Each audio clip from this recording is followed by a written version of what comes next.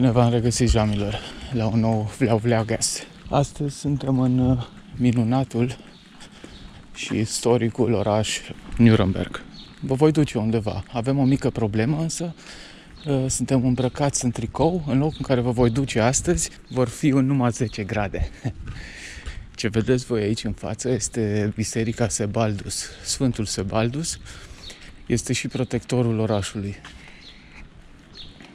Bineînțeles, arhitectura uh, de la 1300, restaurată, bineînțeles, având în vedere că orașul a fost bombardat uh, în al doilea război mondial 90%, 90% și uitați-vă cum arată după 40 de ani sau la 60 de ani de la război, ceva de genul, cât sunt, 60, 70. Da, din păcate, în România mă gândesc că orașele nu arată așa. Da, na, altă cultură, altă mentalitate. Nu suntem mai să vorbim despre asta sau să judecăm. Hardcore.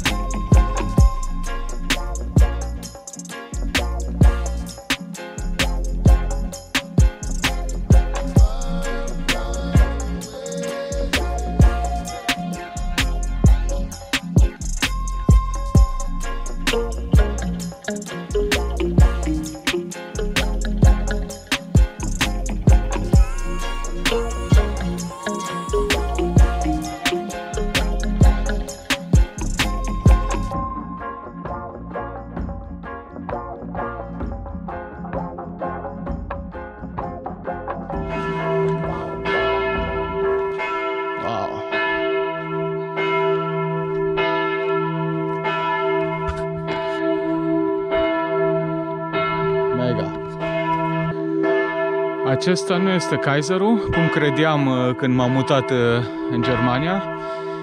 Acesta este Albrecht Dürer. Multe străzi de aici îi poartă numele și există și o casă a lui care poate fi vizitată puțin mai în față. Și nu departe de aici, lângă casa lui Albrecht Dürer, era și locul unde a fost investit Vlad Țepeș, alături de tatăl său în uh, codul uh, Dragonului, când Kaiserul a desfăcut porțile pentru mai multă lume să fie investită în acest cod, în așa fel încât să, în așa fel încât să lupte împotriva uh, otomanilor, Imperiului Otoman. Astăzi vom vizita uh, pifni, pifnițele orașului. Ele datează de la 1300 și vom încheia turul cu o vizită la una dintre cele mai vechi uh, fabrici de bere, de bere roșie și cea mai renumită de aici din oraș. O, o legendă, să zic așa, a berii roșii. Vom proba și o bere roșie aici pe terasă. Rezum- Rezumându-mă strict la aceste pivnițe, ele au fost uh, la început construite pentru a ține berea la rece. Au fost construite de mână. Temperatura jos în pivniță este de undeva de numai 10 grade. O să coborâm undeva la 25 de metri sub, uh, sub pământ, sub oraș. Aceste pivnițe sunt uh, sculptate în uh, piatră de, de nisip, Sandstein, așa se numește. În al doilea război mondial au uh, fost folosite ca adăpost uh, când au fost bombardamentele. Aceasta este casa lui Albrecht Dürer, poate fi și vizitată. Uh, acesta este semnul codul dragonului. Aici era investit. Acest cavaler care a tocmai a doborât un dragon, iar în spate este castelul. Castelul din Nuremberg, un loc uh, nemaipomenit de vizitat. Nu numai castelul, cât și, uh, cât și orașul. Ajunge numai să vii aici la un weekend, să dai o plimbare. Imaginați-vă când, cum băga pe aici Vlad Țepeș. Vlad Țepeș uh, era, s-a făcut uh, renumit aici în oraș pentru măestria în luptă, în turnirurile uh, la care a participat, tot timpul având un mare succes, să zic așa. Cel puțin asta spune istoria, dacă este și adevărat sau nu, jamilor, este altă chestie. Bun, hai să ne căutăm ghidul. Intrarea, de fapt, costă undeva la 10 euro pentru adulți, iar aceste firunguri, aceste uh, uh, prezentări în pifnițe, durează undeva la uh, o oră, jumătate de oră. Pară de turul istoric pe care l-am, avem noi astăzi, există turul uh, despre bere roșie, există un tur pentru copii, unde copiii merg în întuneric, ascultă tot felul de povești, mai mult sau mai puțin adevărate. Iar uh, ce mi se pare super tare, există acest escape room. O problemă poate să apară, uh, și anume lumea în Germania, poate ați văzut și pe alte videoclipuri, este foarte, foarte sensibilă când e vorba de a filma. O să fie lustig, jamilor. Nu știu dacă am să vă traduc jos ce spune ghidul sau am să vă traduc pur și simplu. Probabil am să vă scriu o traducere jos încât să nu uh, disturb liniștea. Liniștea și pacea.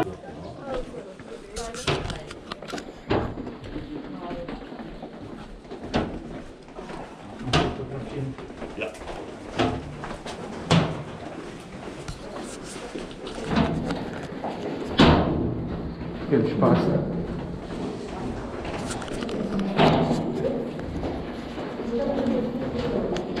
Wow. Vă dați seama când trebuia să fugi aici de, de bombe, când pica un proiectil din ăsta uriaș, frate.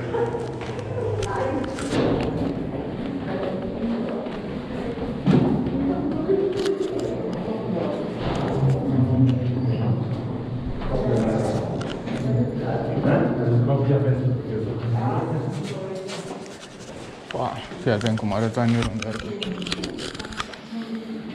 Gândiți-vă cum, gândiți-vă cum au construit după aia totul.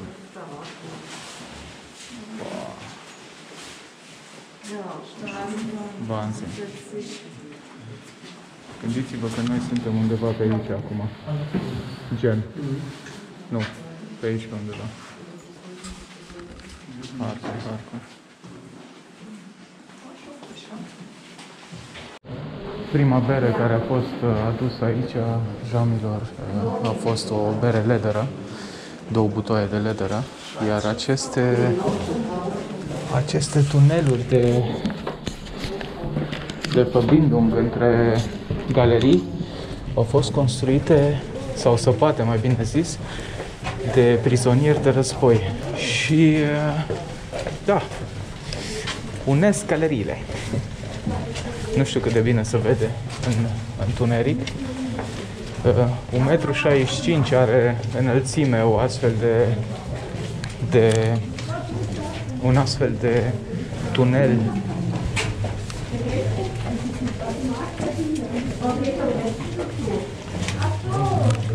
Ce mi s-a părut tare, după al doilea război mondial, uh, locuitorii orașului Nuremberg au spus uh, Beria salvează vieți, pentru că aici uh, au fost ei salvați. Wow! Harbor. Cam așa arată harta. Ce este roșu sunt uh, Kelabia, ce sunt uh, verzi uh, sunt uh, Felsenkeller. Un areal de peste 25.000 de metri pătrați. Noi am plecat de undeva de aici. Bun, stai să nu mă rătăcesc.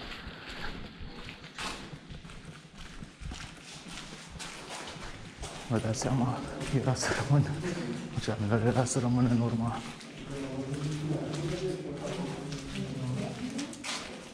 Noi coborâm acum, este la nivelul suntem la nivelul 3 și coborâm la nivelul 4. De ce au înălțimile astea, pivnițele, și de ce uh, dimensiunile astea așa au fost date de, de legile de atunci.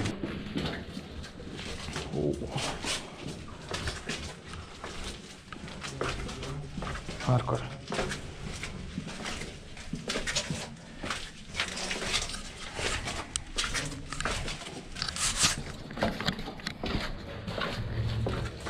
Fără de aceste pilonguri se țin și concerte, janele, concerte, tot felul de show-uri. Uh, ca aceste pivnițe să funcționeze, uh, au nevoie de aerisire. Acesta este una dintre ele.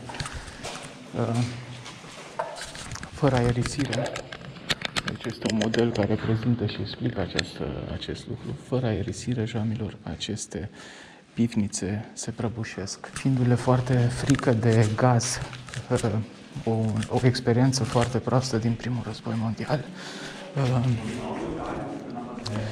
în al doilea război mondial, toate aerisirile au fost zidite. După al doilea război mondial, toate aerisirile au fost refăcute. De aceea, de multe ori, când mergi prin orașul Nuremberg, poți să vezi anumite canalizări, care de fapt nu sunt canalizări, sunt pur și simplu aerisirile acestor pivnițe. Această piatră filtra și filtrează încă foarte bine apa. Tot felul de puțuri de unde își trăgeau apă. Acesta este un braușter, nu este steaua lui David, și reprezenta elementele cu care se face berea. Foc, apă, uh, vânt, uh, malz, Wasser, Hopfen. Warum dürfen wir jetzt kein Bier brauen im August, da? Dazu muss man sagen, ich habe vorhin gesagt, Franken ist eine untergärige Region. Und untergärig bedeutet, zwischen 6 und 10 Grad findet die Gärung statt. Und nach der Hauptgärung setzt sich die Hefe unten ab. Das bedeutet untergärig. Das heißt, ich brauche auch kalte Temperaturen, weil wenn es 14, 15 Grad hat, die Hefe macht zwar noch was, aber trinken kann man es nicht. Und deswegen gab es in Nürnberg bis ins 18. Jahrhundert eine Brausaison. Und die ging los am Michaelistag und endete am Palmsonntag. Nur da durfte Bier gebraut werden. Das letzte Bier, was man eingebraut hat, habt ihr sicher auch schon mal gehört, das nennt man Merzen. Merzen bedeutet nur, das wird im März eingebraut, da ist mehr Stammwürze drin, aber mehr Zucker, aus mehr Zucker kriege ich mehr Alkohol, dann hält es länger ein bisschen für die Haltbarkeit, haut man halt mehr Hopfen rein. Ja, und jetzt haben wir das Problem da. Der Nürnberger hockt doch jetzt im Hochsommer, mitten im August, da zur besten Jahreszeit und muss irgendeinen alten Plempel saufen, der schon im März eingebaut wurde. Es wird schal, es wird abgestanden und dann kriegt es noch einen säuerlichen Stich und das soll man trinken. Ein Bier, was einem nicht schmecken tun tut, sozusagen. Und es trägt die Nürnberger auf und irgendwann rennt man zum Rat der Stadt hin und sagt, klipp und klar, so geht es nicht weiter. Wir wollen auch im Sommer Bier brauen dürfen. Ne? Und der Rat der Stadt irgendwann kulanterweise sagt, macht's halt. Kümmert euch halt darum, dass die Keller schön kalt werden. Was habe ich denn für Möglichkeiten oder was kann ich vor allem im Winter machen, dass ich das hier kalt kriege über das ganze Jahr hinweg? Oder wie hat man früher gekühlt? Eis. Genau, nicht aus dem Fluss. Aber mit Eis hat man gekühlt. Eisblöcke werden hier eingelagert. Der Boden, auf dem hier steht, den hat es nie gegeben. Auch die Decke ist nachträglich reingemauert worden. Über einen kleinen Einbringschacht auf Straßenebene hat man das aufgefüllt im Winter komplett über alle vier Etagen. Das ist ein Stirneiskeller. Und wenn ich das im Winter mache, hält es locker ein Jahr aus und ich kann im Sommer äh, gescheites Bier brauen und kann was gescheites zu trinken da. Das ist ja der Grund. Ne îndreptăm acum spre fabrica de bere, după cum vă spuneam mai devreme, șamilor. În uh, Nuremberg existau uh, în anii 1600-1800 de acolo peste uh, 42 de fabrici de bere. Nu știu cât ați văzut, turul a durat undeva la o oră și acum vom degusta, frate, o bere, o bere roșie. Să vedem dacă toate pove... Danke? Să vedem dacă toate poveștile astea... Ja, ich war der Letzte. Ha, ha, ha, ha, ha, ha. Ich glaube. Ja. Das sind nicht mehr als 10% Schwund. Passt schon. Und dann geht's Mai gut plus, minus, ein, este egal. Vedeți, acolo este steaua aceea despre care v-am spus că nu este neapărat steaua lui, nu este steaua lui David, este un semn pentru fabricile de bere. În funcție de ce culoare avea, berea respectivă o făcea. Având în vedere că acolo este o stea uh, roșie, Aici se face berea roșie. O stea albă sau uh, gri era pentru o bere uh, albă. Asta n-am știut. Zum Brauen verwenden wir Hopfen, Malz, Wasser und Hefe.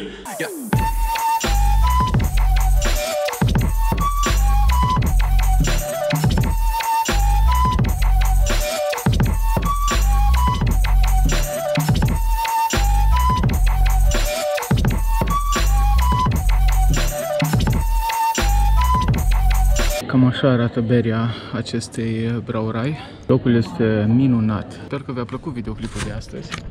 Înainte să-l încheiem, haideți să vă spun puțin uh, dacă este o bere bună sau nu. Îi spun că este una dintre cele mai uh, vechi sorturi de bere roșie care există la noi în regiune. Miroase bine. Sunt bol.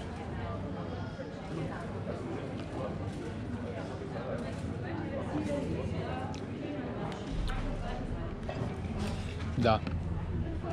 Da, e bună. Da, aia de la Tuhăr e mai bună. Într-o zi vom veni aici și vom și mânca când vom fi în echipă uh, complet. Din păcate, Șefanda a avut o problemă la picior, n-a putut să vină. Eu am venit pentru voi. Ce a fost însă tare, biletul ei l-am primit înapoi pe conto. Poți uh, face rezervările online, vă pun un link în descriere cu uh, site-ul lor. Rezervări online, 10 euro pentru adult, uh, poți plă- plăti cu PayPal-ul sau direct cu cardul. Pentru voi o să iau odată un tur al cetății, frate, și o să vedem dacă ne povestește și de Vlad Țepeș. Eu sunt uh, pasionat de Vlad Țepeș și de istoria română. Uh, Păcat că nu știu. Ah!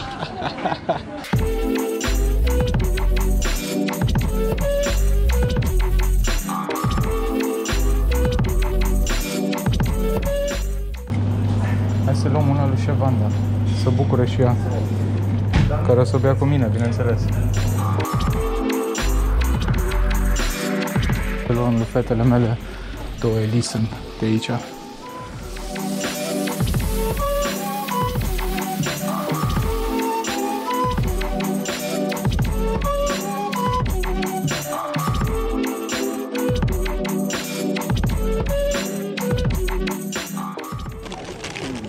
Lebkuchen mă gândesc că ați mai văzut.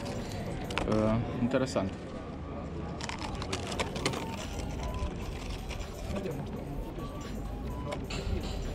Mhm.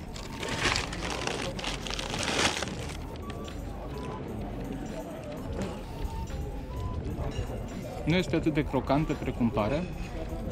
Are un gust de langoș. Un langoș foarte subțire. Exact ca de langoș gustul. Și nu este la fel de crocant cum pare. Puțin crocant, dar nu gen să-ți rup dinții. Foarte bun. Mm. Acesta a fost videoclipul de azi, sper că v-a plăcut. Uh, Vi-am adus puțină istorie în casă, nu va fi ultima oară. Băgați un abo, subscribe. Fiți foarte buni unii cu alții, ieșiți din casă și uh, nu uitați să băgați un coment. Asta ne-ar ajuta. Vă pupă bunul, până data viitoare, poate dintr-un loc mult mai exotic. Oh.